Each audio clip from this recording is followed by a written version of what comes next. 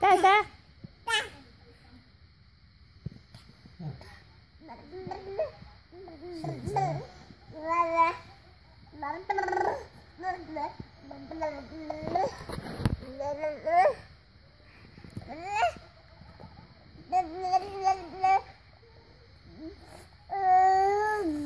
Don't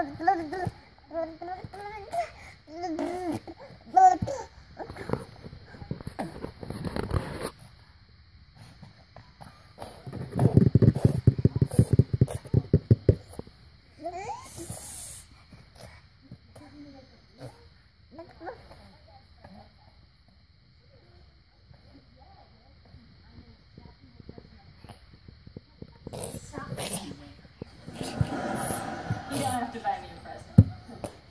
She didn't have to bring your guitar.